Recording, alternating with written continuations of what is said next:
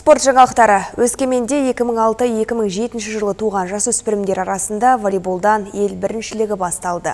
Жарыстың ақтық сынында жеңіске жеткендер Азия чемпионатында ұлттық құрама сапында өнер көрсетуге мүмкіндік алады. Тартысты сында арна тілшілері де болып қайтты. Өскеменге елдің әр аймағынан жиналған 9 команда спорттық алаңда бақтарын сынады. Қатысушылар арасында өңірдің екі бірдей құрамасы бар. Сондай-ақ Астана мен Алматы, Түркістан, Павлодар, Солтүстік Қазақстан, Жетісу және Қызылорда облыстарының командалары бас жүлдені сарапқа салмақ.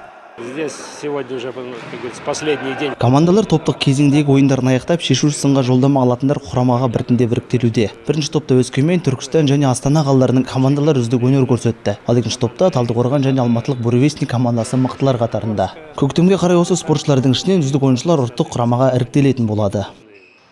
Жарысқа қатысқан құрамалардың ешқайсысы осал емес. Сен көтермен Нұрайының амалын жасап бақты. Ретін тапса, ешқайсысы жеңісті қолдан бергісі жоқ екенін танытты. Бапкерлер де командаларына дем беріп, соңына дейін қолдау білдірумен болды. Жарыс болған соң жеңілістер болатыны анық. Астанадан келген жас өрендер қарсыластарынан жарыс барысында бір табан жоғары екенін көрсеткенімен түркістандық құрамадан айласын асыра алмады. Дегенмен бұл команданың бапкері қарсыластарының әлсіз болмағанын айтады. міне бірінен бастап жарыс басталды балдар жақсы ойнап топтық кезеңнен бірінші орынмен шықтық. Ә, астана командасы өте жақсы команда екен. Қазір астана командасымен ойнадық. Астана командасын ұттық. Ә, спортшылар жақсы жақсы ойнады.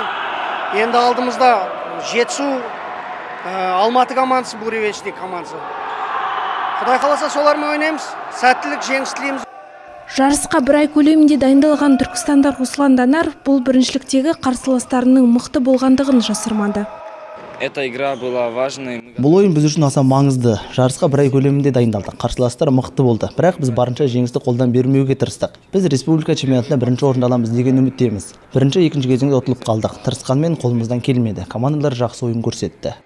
Жасөспірімдер арасындағы тартымды ойын әлі де жалғасын таппақ. Айта кетейік, волейболдан ел біріншілігі қыздар арасында да өтуде. Фатима Тлиханқызы, Карина Мурадова, Елнұр Нұрайханов, Алдай ақпарат. Бүгінгі айтарымыз осы. Арнамыздан алыстап, аймақтың айшықты жаңалықтарынан қалыс қалмаңыздар, алдағы демалыс күндеріңіз сәтті өтсін.